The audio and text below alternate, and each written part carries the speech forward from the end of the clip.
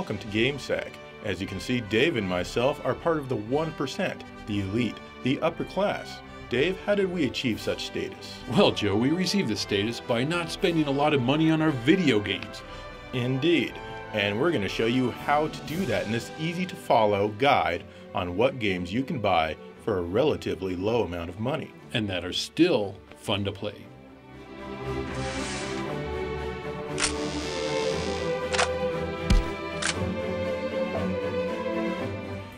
Ghen War by Jumping Jack Software for the Saturn is one that's not too expensive and nobody ever talks about. This one goes for about $12 on average. Basically, the story is that the Ghen aliens have been helping humans with technology but now have turned on them for some reason. And now it's up to you to eradicate all of the Ghen.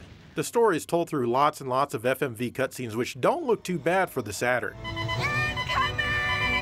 The meat of the game is spent inside the cockpit of a mech type device with various abilities and weapons. Each mission will usually have a few different objectives to accomplish. You have a decently large area to wander around in in order to complete these tasks. You have a map at the bottom left corner of the screen, but it doesn't differentiate between enemies and other random items that just might be laying around. However, you can pause the game at any time to get a better overall view of the map. I think that the main problem with this game is that your mission objectives are vague at best. You're left to discover most things on your own. The map does not light up with where you need to go next or anything like that. Some missions are pretty tough, like taking out these towers. They light up when you get close, which prevents you from jumping and firing your weapons. If you get far enough away for them to turn off their lights, it's hard to hit them and you run out of ammo. And then you've got to run around the stage and get more ammo, and that gets kind of boring. And that's because it just feels like I'm not really making any progress. Also, when you do beat a stage, do not press X. Do not do it, because that takes you back to the title screen. The game's visuals are pretty bleak with a very limited draw distance. The sound and music are okay, but the music doesn't play all the time. Overall, the game controls fine. It's not a bad game, really, I just feel it could be better. However, playing with the Saturn Mission Stick increases the fun factor. I mean, look at my face as I play with a regular Saturn controller. Now look at my face as I play with the Saturn Mission Stick. That's how much extra excitement it brings. Overall, truthfully, it's an average game, but it's worth $12 or so.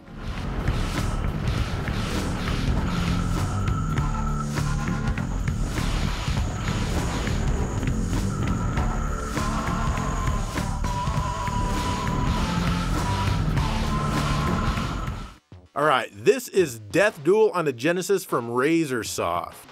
It turns out that by the year 2140, civilization has advanced to the point where all disputes must be settled by a duel to the death. You play as the mechanized robot thingy that you see in the title screen. You trudge back and forth on the playfield looking for your enemy and firing on him with the weapons that you have available to you. Your life bar is on the bottom whereas your foe's is on the top of the screen. Obviously, the enemy will return fire and whoever's life bar fills up the first loses the match. And after the match, you need to shoot bugs to qualify for the next stage, and who doesn't like that? I like how you're reminded of the game's name during all of this, just in case you've forgotten and need to go tell your friends to buy it.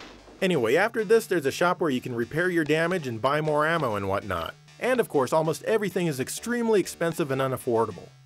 As you can see, it's a tremendously exciting game. That is, if boredom excites you for some sick reason. must, you're watching GameSack. The game tries to be bloody and gory, but honestly, it's pretty tame. It's also kind of hard to be grossed out by weird armored aliens falling apart. Ultimately, it gets old pretty fast because your weapons and ammo are just too limited, and so is the game's clock. The graphics really aren't anything special at all. Well, except for the ring girls, I guess. Must be cold outside. The sound is awful all around, and so is the music in the rare instance that it actually plays. The box makes a big deal about the game's 8 mega power, and even includes it in the title. Like a lot of games, this one's cheap for a reason.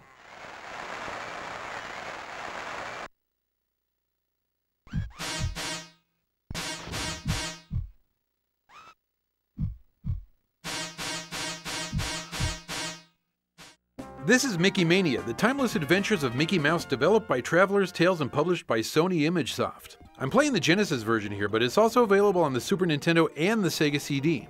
Why is a Nintendo fanboy choosing to play the Genesis version over the Super Nintendo, you ask? Well, it's simple, really. Traveller's Tales put more effort into the Genesis release, and they kind of half assed the poor old Nintendo release.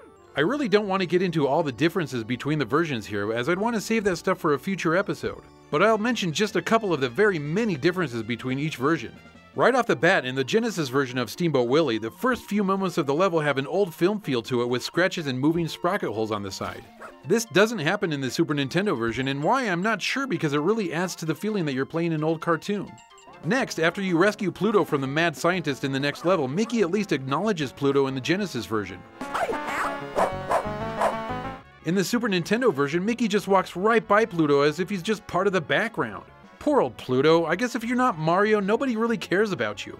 Anyways, let's talk about the game. As the title states, the game is all about the timeless adventures of Mickey Mouse. It lets you play as Mickey and relive moments from some of his most popular cartoons. Six of them in all, and there's definitely a great variety represented here.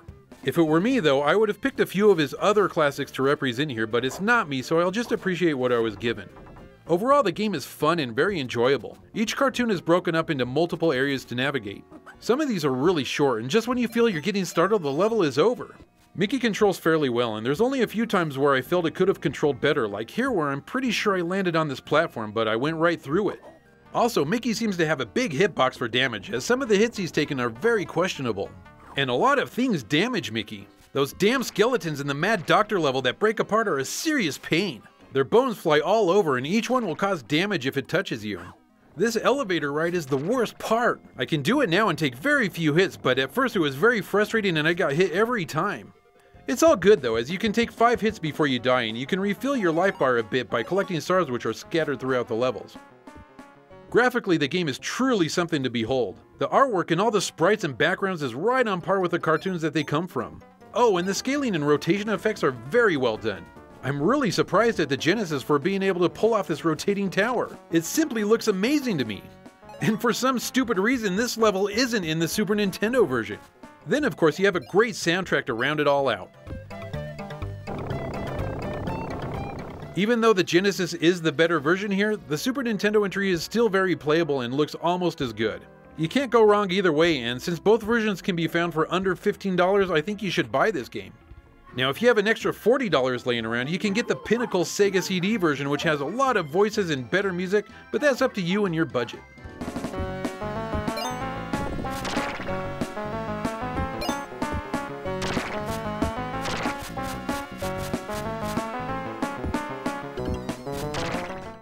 Lotus Turbo Challenge on the Genesis is a racing game from 1992. It was programmed by Gremlin Graphics and released by EA and can be played by one or two players. This one averages around $6 because it's really not that much in demand. And it's as basic as it gets. You have acceleration and brakes, and you have a choice of manual shifting if you want. You've got no turbos or speed boosts of any kind. However, you do have a Yeehaw button. They even dedicated a section to it in the manual. The game plays well with each stage being a long route from point A to point B. After each checkpoint you pass, each stage will change a little bit in the kind of hazards you gotta avoid. The control is great, but the problem is that the countdown timer is extremely unforgiving. Damn, it's tough. The graphics are very minimal. There is one stage though where you race on a highway and there's traffic all over the place, but that's as awesome as it gets. There's no music during gameplay, and except for the occasional digitized sound, it sounds like a Master System game. In fact, that's what I told the dude at Buyback Games when he asked how I liked it back when I rented this one in 1992. There's not too much 16-bitness going on here, but it's cheap, and that's what's important. Checkpoint!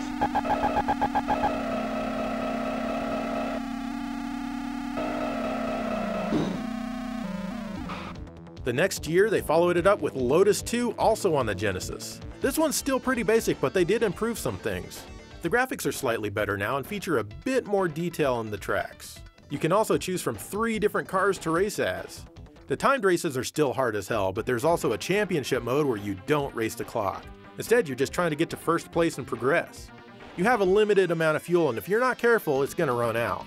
You refuel by pulling over and stopping when the pit icon flashes, and then watch your rank rapidly decrease. Ah, yes, last place for me, please. There's even a choice of music tracks to listen to this time. They're not too bad, but you can't have both music and sound effects at the same time for some reason. It's a better game than the first, but it's still not amazing. However, it is a bit cheaper than the first as this one's only around 5 bucks.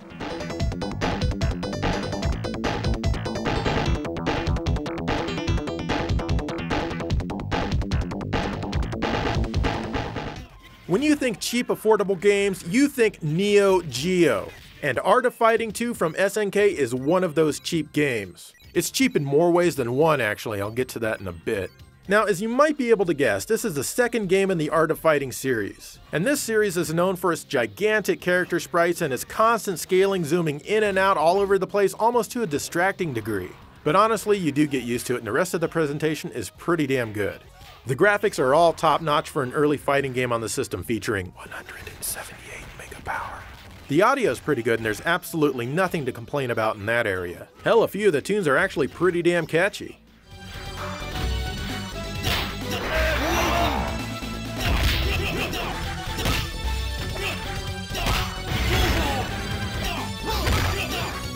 Gameplay wise, A punches, B kicks, and C throws, and also kind of attacks if you're not in range to throw. The longer you hold down on the button, the stronger your attack. I found this kind of hard to get used to. There's a chi meter underneath your life bar that drains as you use your special moves. When this is empty, your attacks become very weak. You can recharge your chi by standing still and holding both the A and B buttons down, but this leaves you vulnerable. But guess what? Your enemy also has to do this. Honestly though, I didn't really feel like this added too much to the game. It's still fun though. After each third stage, you play a bonus round of your choice in hopes of increasing your character's ability, which is really cool. But be warned, the single player mode in this game is super cheap in that it blocks nearly all of your attacks and advances. It's very frustrating to play at times. The two player mode is of course immune to this as no human player will ever be as cheap as the CPU. If you have a friend to play with, I really do recommend it. The Japanese version for the AES sells between 38 and $50 online, and that's the one you want. That's cheap as hell for a Neo Geo game. Hell, I picked up my copy at a local video game shop for just $35. It also came out on the Super Famicom under its Japanese name Ryuko no Ken 2. Of course, it's pretty watered down, but it does have the scaling backgrounds. It also has separate buttons for light and strong attacks, and that's pretty nice. As a game, it's a little easier, but it's still pretty tough. And thanks to the lovely reverb, the fight sounds like it's taking place inside an empty barrel. It goes for about the same price as the Neo Geo version, maybe a little bit cheaper, so it's not really an outstanding budget title for the Super Famicom, but it's there if you want it. Of course, I'm going to prefer the Neo Geo version. It's a great game, but SNK hates your life if you play alone.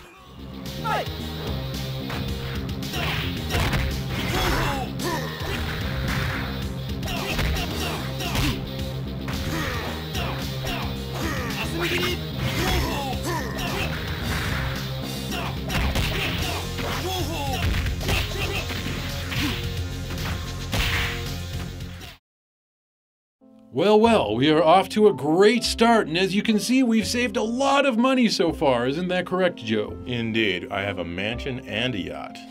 I have two mansions and two yachts. Indeed. And we're not done. We're going to show you more games that you can save money on so you can have a mansion and a yacht.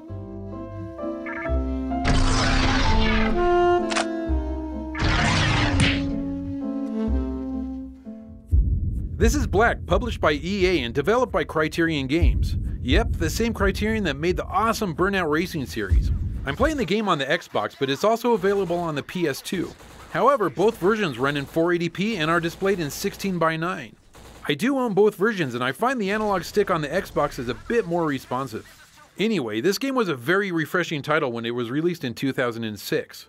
The other major first person shooter series at the time were still wearing out the World War II themes, and Black brought us something new and modern. Set in Russia, the game revolves around a soldier retelling his battles that he's been in trying to stop the 7th Wave terrorist cell. Each level that you play through is set up by a cutscene of your character being interrogated. He smokes a lot, and that made me really want a cigarette bad!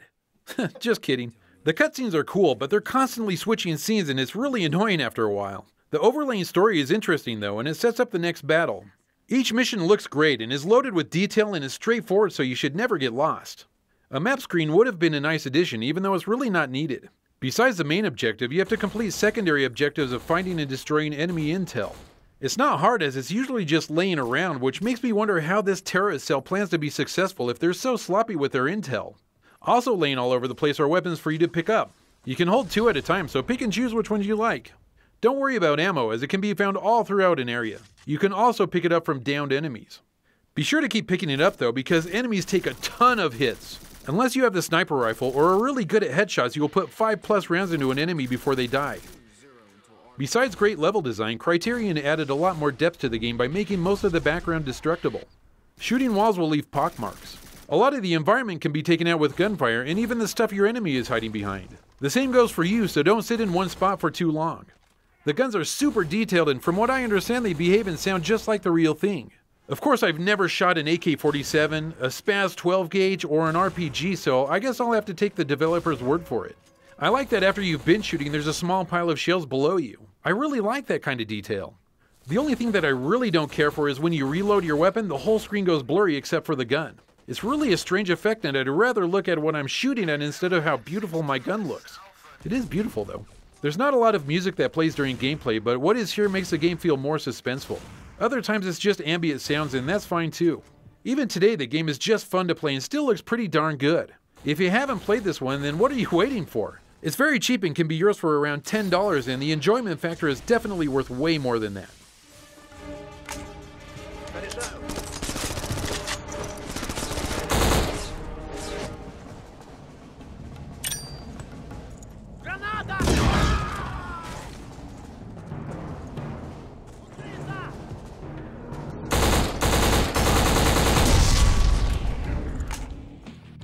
Skitchin' for the Genesis is made by the same dudes as Road Rash. The premise of this one is that you're a dude on rollerblades and you're racing other dudes on rollerblades. To go faster, you affix yourself to the backs of cars which will give you momentum to move up to the cars ahead of you and to get into first place. Well, that is until you mess up like I always do, like right here. Sometimes you'll have to beat off the other dudes that are attached to the same vehicle as you. Well, beat them up, I mean. Yeah, there are weapons laying in the middle of the street for you to collect, and you can have up to three of them at a time. If you reach a high enough place, you move on to the next city. There's also a shop between rounds for you to buy extra gear, just like in Road Rash. There's also a chance to earn some extra money on bonus tracks. Okay, as you can see here, I really, really suck at this game. I mean, really suck. I find it very difficult to do what I want to do in the game. My on-screen guy often reaches for the wrong side of the street when I put out my hand waiting for a car to come up for me to grab. It feels like you spend the entire game watching this tiny rear view mirror at the bottom of the screen. And don't you dare take your eyes off of it. I sometimes have a hard time staying attached to certain vehicles, and landing from a simple jump is also something I have difficulty with. Sadly, I face all of these difficulties in the very first level, and it doesn't do a good job of teaching the player how to deal with the game like a good first level should. I mean, it keeps the cars to a single side of the road, but that's really about it. I feel like the gameplay could have been a little bit more streamlined. They tried to do so much with so few buttons. Personally, I think grabbing cars should be automatic if you're close enough. Honestly, I just don't enjoy playing this one, and I never really have since I originally rented it back when it was released, and that might anger some of you since this game has some passionate fans. But I'm not here to talk up the game for those who like it because they already own it. I'm here to tell you that it's cheap and you can usually find a boxed copy for less than 15 US dollars. And you might actually like it because a lot of people who play it do. The graphics are kind of low quality, but at least it has the same software scaling from the Road Rash games, even if the frame rate is pretty low. And each city is identical to the real deal. For example, this odd building here from Denver, that's real. We call this one the cash register building. The music is technically impressive in its sound quality and it can be pretty damn catchy too. I can't imagine too many people not liking the music, but I'm sure there's some people. Honestly, even though I'm not personally a fan of the gameplay and would much rather play Road Rash, it is worth taking a chance on for such a low price if you don't have it.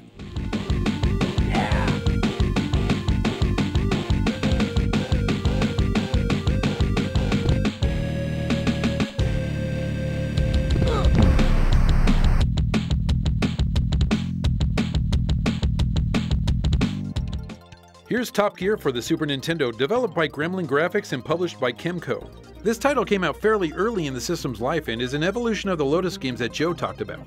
As you can see, it's a split screen racer, and I've always been curious as why the single player mode has to have a split screen. I mean, it's not like I have time to stare at my computer opponent's screen to see where they are, so why not make it full screen? Just like any racing game out there, your goal is to finish in first place, believe it or not.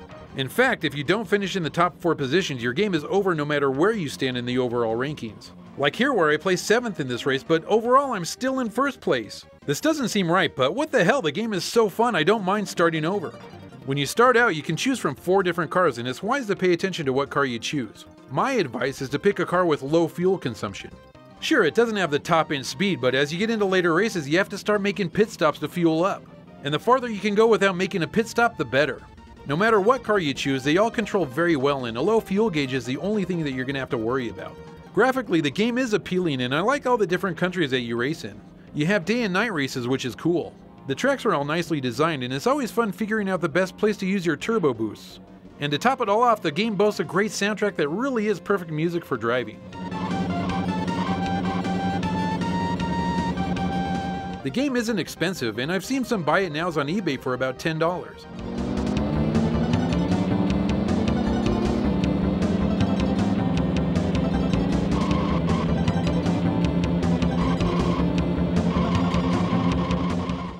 Top Gear 2, again by Gremlin Graphics and Kemco, came out a year later in 1993. There's a lot of exciting changes to this sequel that make for a better game in my opinion. Most notably is that single player is now full screen. Ah, that is so much more enjoyable. As far as setting up your game, you don't get to choose your car anymore. You're given a car that you can upgrade throughout the championship.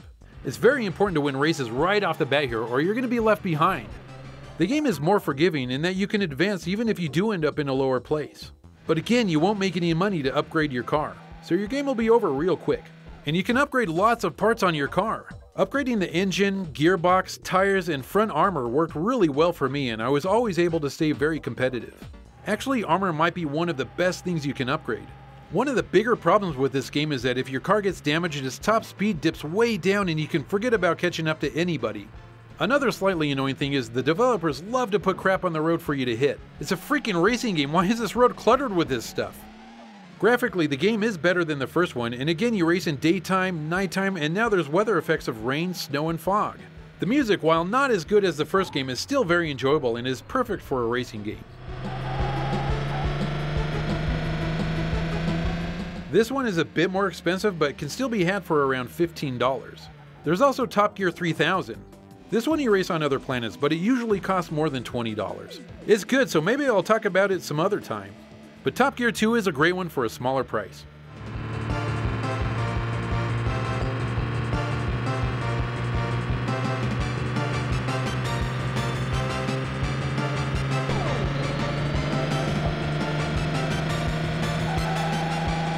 And by now, you, like us, are incredibly wealthy, part of the 1%, which is now inflated to 2%, and you oppress everyone else. Feels good, doesn't it? It does. Anyway, what are some of your favorite games that don't really cost very much? Let us know because maybe we'd like to buy them too and become even more rich. That's one of our favorite hobbies. Yes. Oh, you're exactly right, Joe. And we would love to have more money in our pockets and not buy expensive games. Indeed. Meantime, thank you for watching GameSack.